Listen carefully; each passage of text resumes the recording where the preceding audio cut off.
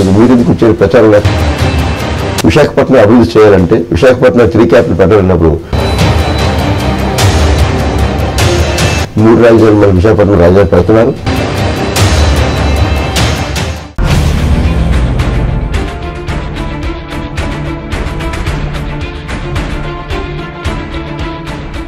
అందరికీ నమస్కారం అండి. గాజువాక నియోజకవర్గ డెబ్బై ఆరు వాటి ప్రజలకు ప్రత్యేకంగా ఓటర్ స- ఓటర్ మహాశీలు నమస్సమాన్ని తెలియజేస్తాను. అక్కడ నుండి యువతకి మహిళా స్వాధి సోదరి అందరూ కూడా నమస్సమాన్ని తెలియజేస్తూ నన్ను నేను దుడ్రమణ నేను గత సంవత్సరం కాలంగా కరోనా నుంచి కూడా ప్రజలకు అందుబాటులో ఉంటూ ప్రజలకు ఏ సేవ చేయాలో అనునిత్యం కూడా ప్రజల సమస్యలు తెలుసుకోవడంలో మాకు బాగా అనుభవం ఉంది. ఈ సంవత్సరం రోజుల్లో ప్రజలు పడుతున్న ఇబ్బందులు కూడా కొన్ని సమస్యలు ప్రజలు మా దృష్టి తీసుకొచ్చారు. ఆ సమస్యలో ప్రధానంగా ఏంటంటే అక్కడ ఉన్నటువంటి డంపింగ్ యార్డ్ ప్రధాన సమస్య ఉంది. గతంలో కూడా ప్రజలు చాలా ఇబ్బంది పడి ధర్నాలు చేశారు. గతంలో కూడా చాలా పోరాటాలు చేశారు. దాని మీద ప్రత్యేకంగా దృష్టి సారించి కౌన్సిల్ మీటింగ్లో మేము తీర్మానం చేసి వీలైనంత వరకు దాన్ని డంపింగ్ ప్రయత్నం తరలించడానికి ప్రయత్నం మనం చేస్తాం అక్కడ ఉన్నటువంటి సంబంధించి Ramachandra Nagar rickshaw colony Burma colony ర- ఆ, గోపాలరెడ్డి నగర్లో ఎన్నో ఏళ్ళుగా నివాసం ఉంటున్న ప్రజలందరూ కలిపి ఇల్లు కట్టుకుని నివాసం ఉన్నారు. వాళ్ళు పట్టాలు లేక చాలా ఇబ్బంది పడుతున్నారు. అది తప్పనిసరి పరిస్థితుల్లో ఇల్లు అందరికీ కూడా ఉచితంగా ఎవరైతే ఉందో పట్టాలు ఇప్పించే పని చేస్తాం ఒకవేళ వంద గజాలు లోపలికి ఫ్రీగా ఇస్తారు వంద గజాలు దాడితే దానికి గవర్నమెంట్ నామ్స్ ప్రకారం మినిమం కట్టించే ఏర్పాటు మనం చేసి ఏ ఒక్క రూపాయి లంచం లేకుండా పరి మన పరిశీలంగా న్యాయబద్ధంగా అక్కడ రెవెన్యూ వాళ్ళు సర్వే చేయించి పట్టాలు ఇప్పించే ప్రయత్నం మనం చేస్తాం. అలాగే మూడోది అక్కడ ఉన్నటువంటి వర్షాలు పడడం వల్ల ఏముందంటే ఇప్పుడు పూర్వం కట్టిన డ్రైన్స్ చిన్న వల్ల housing board dairy colony Burma colony ఏర్పరిచిన ప్రాంతం ప్రజలు ప్రజలందరూ కూడా ఇబ్బంది పడుతున్నారు బాల్చేరు ఏరియాలో. దానివల్ల ఏమిటంటే ground level water drainage stuck అయిపోవడం వల్ల వాటర్స్ అన్ని కలిపి కింద ఉండిపోవడం వల్ల ఏముందంటే వాటర్ ఎక్కువ అయితే గంగవరం పోర్ట్ సంబంధించి ఇటీవల కాలంలో కొన్ని డ్రైన్స్ అయ్యి అక్కడ బ్లాక్ చేశారు. అవి మొన్న మొన్న ఎప్పుడైతే కరోనా ఈ తుఫాన్ వచ్చేటప్పుడు దగ్గరుండి ఎమ్మెల్యే గారు దృష్టి పెడితే జోన్ కప్ తీసుకెళ్ళి ఇక్కడ మనం జేసీ పెట్టి అవి కొంచెం టెంపరీ తీసాం. పర్మనెంట్ సొల్యూషన్ చేసి టెక్నాలజీతో లేటెస్ట్ టెక్నాలజీతో పెద్ద డ్రైన్స్ కట్టించి హౌసింగ్ బోర్డు ఏదైతే ఉన్నాయో బర్మా కావాలి డైరీ కావాలి అవి భవిష్యత్తులో ఏ రకం ఇబ్బంది కాకుండా మనం చేయడం జరుగుతుందని తెలియజేస్తున్నాం. అలాగే ఉన్నటువంటి హౌసింగ్ బోర్డు సంబంధించి పార్కు దాదాపు ఆరున్నర ఎకరాల పార్క్ ఉంది స్థలం ఉంది. విశాఖపట్నం ఎక్కడ అంత సంబంధించి పార్కులు ఎక్కడ ప్లేసులు లేవు. ఆ పార్క్ గతంలో కూడా పాలకులు ఎంతో కొంత చేస్తామని చెప్పి ఈ రోజు వరకు పాలకులు చేయకుండా అలాగే తరపు ఉగ్రమ ప్రజలు ఇబ్బంది చాలా దృష్టి చాలా మా దృష్టికి వచ్చింది.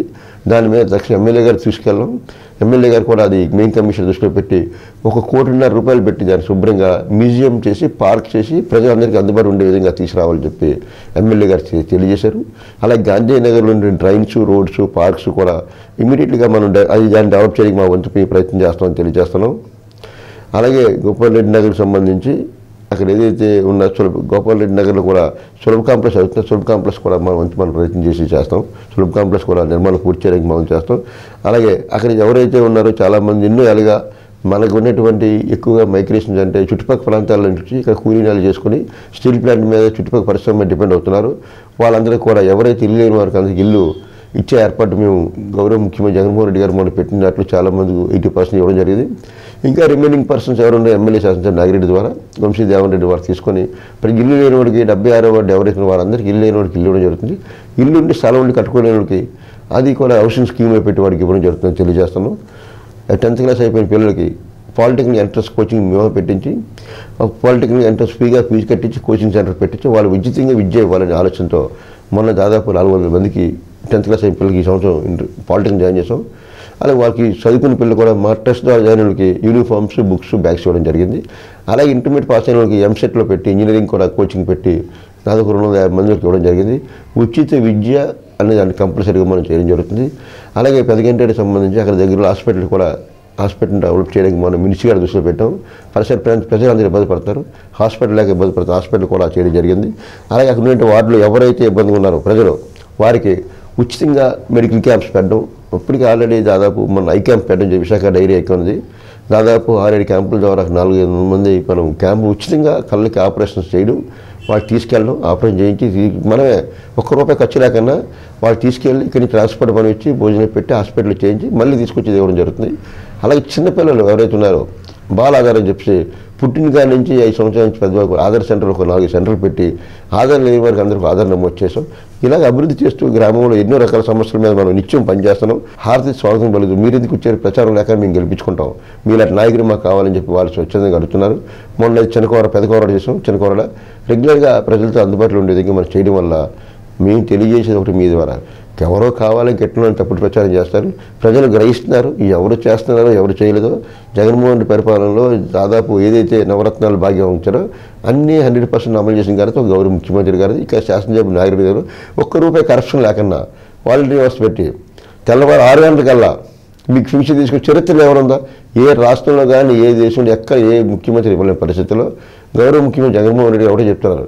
విశాఖపట్నం అభివృద్ధి చేయాలంటే విశాఖపట్నం త్రీ క్యాపిటల్ పెట్టాలన్నప్పుడు మీరందరూ కలిపి గాజు విశాఖపట్నంలో తొమ్మిది ఎనిమిది వార్డులు అందరూ వైఎస్ఆర్సీపీ అత్యధిక మెజార్టీతో గెలిపించే మరి కంపల్సరీగా మూడు రాజధానులు మనకు విశాఖపట్నం రాజధాని పెడుతున్నారు. ఆ రాజధాని వల్ల మన పరి- మన పరిసర ప్రాంత అభివృద్ధి జరుగుతుంది.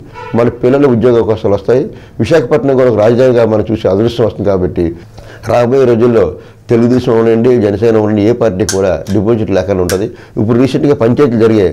పంచాయతీలో నైంటీ ఫైవ్ పర్సెంట్ ప్రసిపి అన్ని ఏరియాలో కూడా సక్సెస్ ఒకటే ఓటర్ మాస్టర్కి జిల్లా విశాఖ జిల్లా విశాఖపట్నం కార్పొరేషన్ తొంభై ఎనిమిది వారి ప్రజలందరికీ విజ్ఞప్తి చేస్తూ అందరూ నమస్కారం తెలియజేస్తున్నాం. మీరు ఆదరించండి. జగన్మోహన్ రెడ్డి గారు చూడండి. ఇక్కడ ఉన్నటువంటి నాయకత్వం చూడండి. ఇక్కడ శాసనసభ నాగిరెడ్డి గారు అలాగే మన అవంతి శ్రీనివాస్ గారు ఎంపీ గారు కూడా అందరూ ఉన్నారు. విశాఖపట్నంలో ప్రజలు అందుబడుతున్నారు గత పాలకులు మీరు ఏమి వెళ్ళాలంటే ఎంఆర్ఎస్కి డబ్బులు అయ్యేది. రేషన్ డిపో తీసుకోవాలి. రేషన్ మీ ఇంటికే మీ కాళ్ళ దగ్గరికి రేషన్ వస్తుంది. ఇదివరకు అయితే ఇరవై కేజీలు పదిహేను కేజీలు వచ్చేది. ఇరవై కేజీలు ఇరవై గ్రాములు చెప్పిన సీఎం గారు ఒప్పుకోవట్లేదు ఎమ్మెల్యే నాగరాజు గారు ఒప్పుకోవట్లేదు. దయచేసి వాటర్ మహాసి మరొకసారి విజ్ఞప్తి చేస్తున్నాం.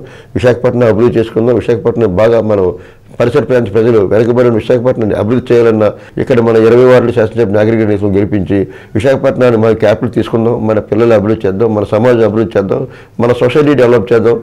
విశ్- డెబ్బై ఆరో వార్డు విశాఖపట్నంలో ఎక్కడా లేని విధంగా తొంభై ఎనిమిది వార్డులో నెంబర్ వన్ వార్డుగా ఆధునీకరణ చేసి సమస్య లేని వార్డుగా తయారు చేయాలని చెప్పి మేము కోరుకుంటూ మాకు మీ అందరూ ఆదరిస్తారు. అభిమానిస్తున్నందుకు మీ అందరికీ ప్రత్యేక ధన్యవాదాలు.